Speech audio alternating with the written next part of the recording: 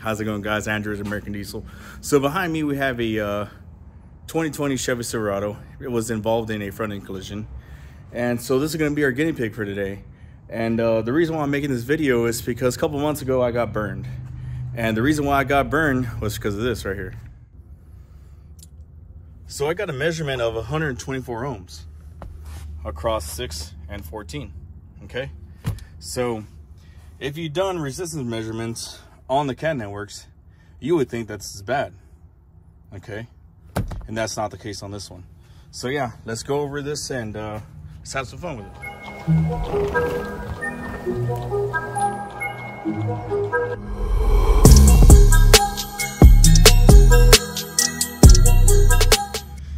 All right, so as I was stating earlier, I'm on pin 6 and 14, okay? And then we have this resistance measurement. So with this being a 2020, this already has the new implemented serial data gateway, okay? So now let's go to a 2019 previous to that gateway. And uh, basically, so this one is in series the resistance that I'm measuring right now on 6 and 14, this is a, a in-series measurement, okay? So now I'm gonna cut to the other vehicle that I have over there. Uh, I was actually working on that one as well. So that one right there, it's measured in parallel. So yeah, let's jump to the other truck and let's take a resistance measurement of that one as well. All right, guys, so now we're in the uh, 2019 Chevy Silverado. Same measurement on the DLC, okay? 6 and 14. Look what we got here, 60 ohms. Why is that? Because this one's in parallel. So let's go over here to the board and let's explain why they're different and why this one is good and the other one's good as well. So yeah, let's cut to the board. All right, and so now we're at the uh, board of knowledge over here. Stolen from Eric O, of course. so right here, we have our formula for resistors in series. okay, so on the 2020 Chevy Silverado, it's gonna be in series. So here's resistor number one, okay? And then here's resistor number two, okay? So it's gonna label it R1. This we're gonna label it R2. Sorry if my numbers and everything look like hieroglyphs. Promise you it's not, it's in English. So resistance one is gonna be 60 ohms, okay? I really don't, don't want to draw ohms, so we'll just leave like that. 60 as well. And then ohms. Okay, so where we're measuring it, we're measuring it here and here. So pretend that this is our DVOM, okay? Here's our DVOM, here's our ports, okay? So we have that. And then our measurement is 120. Okay. The reason being is because all you're doing is adding. So come to the formula, R1 plus R2 equals the total amount. So 60 plus 60, add them together, you get 120. Easy, right? So that's how you measure in series. So in parallel, it's different. You have one here, one here. It's parallel. So we're gonna put our resistors here, one at each end. And then here we're gonna put 120. And over here as well, we're gonna do 120. Okay, so we got both our resistors over here, 120, 120. And then so over here and here, do the same thing too. We're gonna go to our DVOM. Okay, just draw DVOM here. Now I'm really not great at drawing. Okay, and then the same thing here, we're gonna get the resistance measurement of 60. Okay, the reason being is because this being in parallel, we're measuring it here and here at the, uh, let's, so let's draw like a this is our DLC. So be here pin six and pin 14. So that's where we're measuring at. We're measuring it here on pin 6 and pin 14 on the DLC. So that's how we get our measurement, okay? So if you use the formula, so this one's a little bit more complicated. So this is gonna be R1 times R2 divided by R1 plus R2. So let's just do the math. So we have 120 ohm resistor times 120 ohms. So R1 and R2, okay?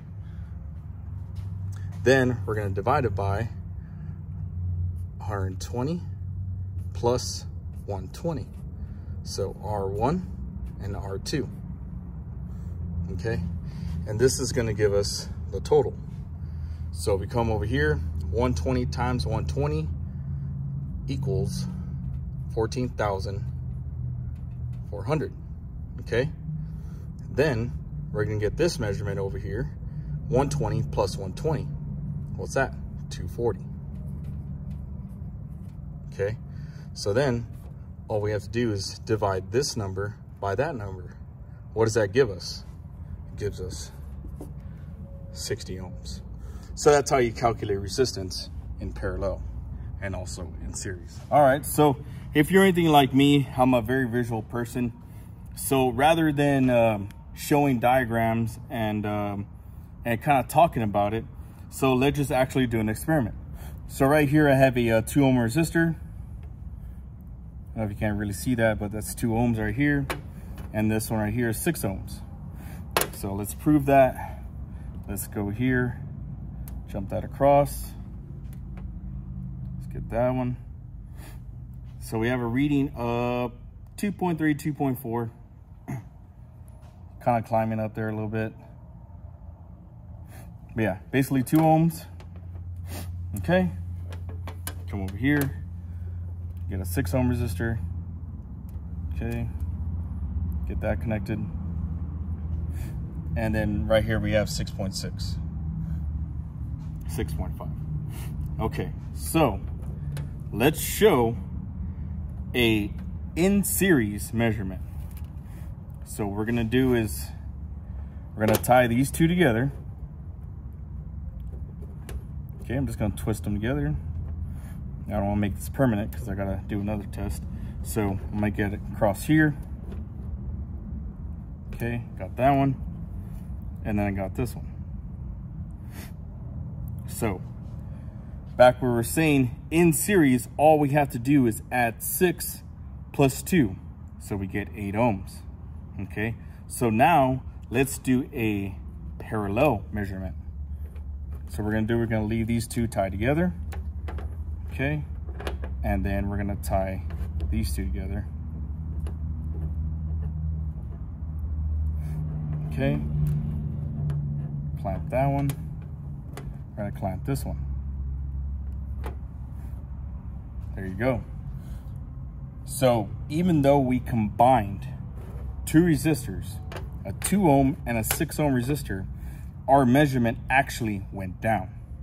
Why is that? So if you come over here to the board, the reason being is because we're doing R1, R2, R1, R2, and divided by that. So I guess let's uh, let's do the math and let's see if the the math actually reads the same as the uh, as the meter. All right, guys. So let's do the math. Okay. So that way we can see if we're somewhat close whenever it comes to using the formula of parallel and using this. So R1 times R2 which is the first one was at 2.3, okay? Second one, I wanna say it was 6.2, okay? Then it's gonna be R1 again, so 2.3, and then plus 6.2. So if we multiply 2.3 times 6.2, that's gonna come out to 14.26. Okay, and then 2.3 plus 6.2 is 8.5. So then all we gotta do now is divide that and that will equal our resistance. So if you do the math, that's gonna come out to 1.67. Okay, so basically 1.7. And as you can see, just me uh, letting this simmer, I think it was starting at 1.8. So yeah, we're very close to what the measurement should be on the formula. So using this formula right here uh, can get you can get you to where you need to be. So if you're trying to figure out between one two resistors in parallel, or if you're trying to do it in series, you can do either which way. So yeah, let's uh, let's move on to something else. All right, guys. So let's go over this uh, the wiring diagram.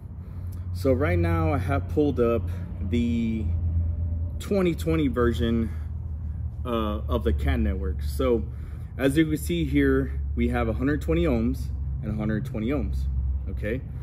So the reason why we're getting 120 ohms on the reading is because the DLC is not tied into the GM LAN high speed. So we see here pin 6, pin 14, okay? So I'm pretty much measuring the serial data gateway module. And it has an internal resistance of 120. So as we were stating earlier, if you want to get a reading, or if you look at the formula of R1 plus R2 equals 120. So with me getting a resistance reading of 120, that basically telling me that everything's fine, everything's dandy. There's nothing wrong with it. And uh, with me coming over here to the 2019 model, and me seeing a 120 ohm resistor, 120 ohm resistor. Right here, this is a parallel system. Uh, so they both are a parallel system as far as the GM, GM LAN high speed. The only difference is the DLC is connected on the 2019s and previous, and the 2020, the 2020s and up are not tied into with the DLC. So if you see pin 6 and pin 14, we're tied into here, tied into here. So right there, we're checking in parallel across 6 and 14. And of course, like we were saying, 120 and 120 resistor, uh, resistor uh, measurement across those two, that equals 60. And like we were saying earlier, so you take the 120 and 120, multiply them, you get 14,400. And then you get 120 and 120, add those both up, then you get the resistance measurement you got first was 14,400 divided by 240. Then that's how we get 60 ohms across 6 and 14. Okay, so, and then, so let's kind of go back to where I was before. and this is the mistake that I had made. So since I was over here at the brake system control module, so I undid this here and this one had an issue with um, communication with the brake system control module, which was uh, K160. So I'll go to scan tool, read the codes, and there was a bunch of error codes like like ROM codes, stuff like that.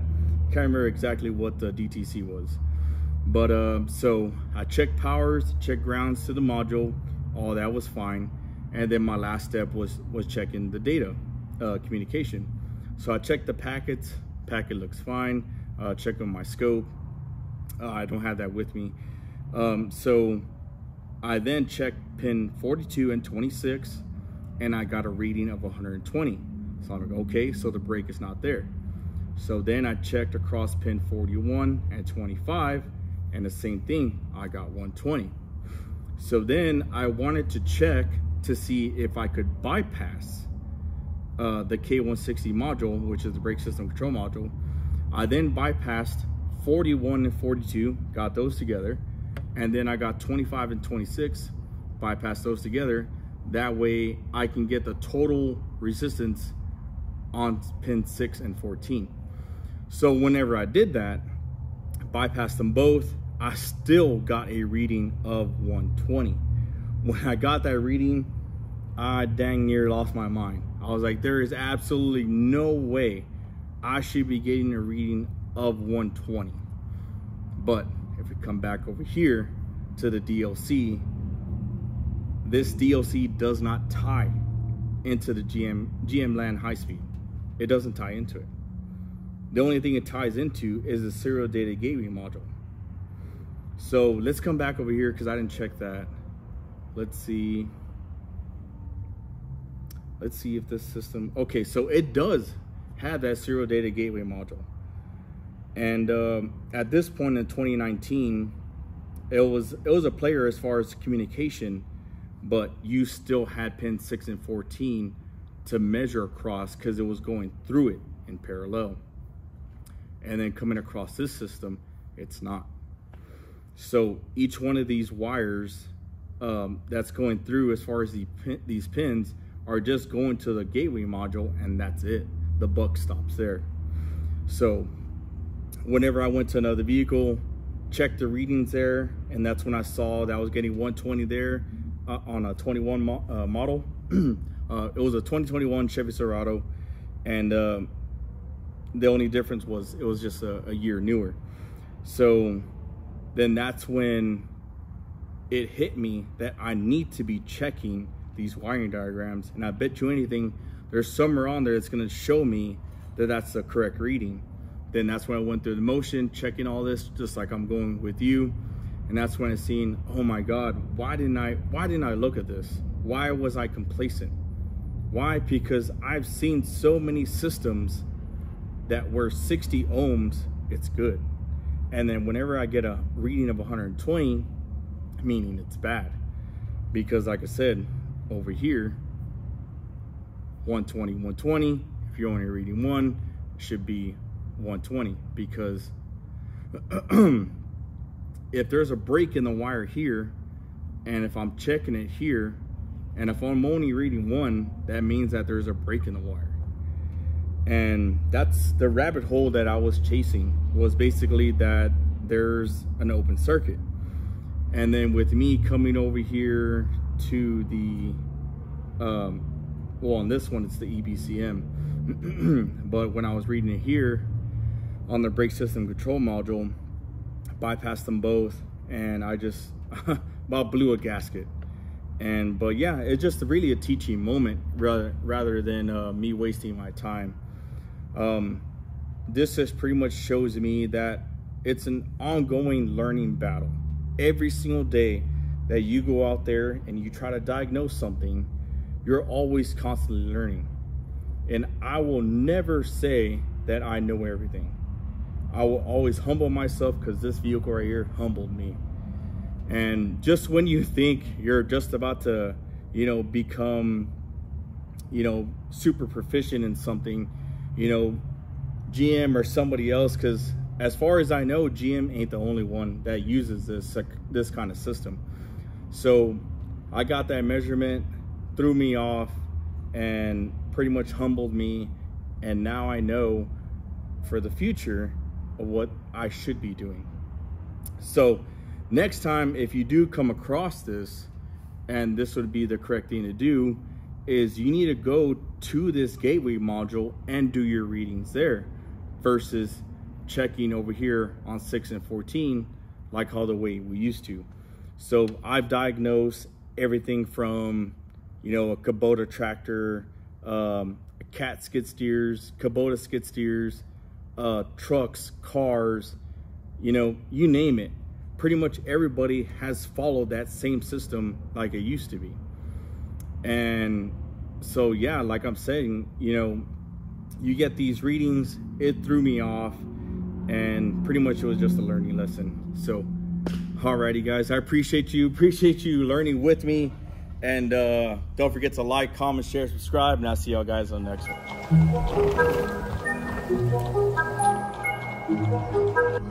one.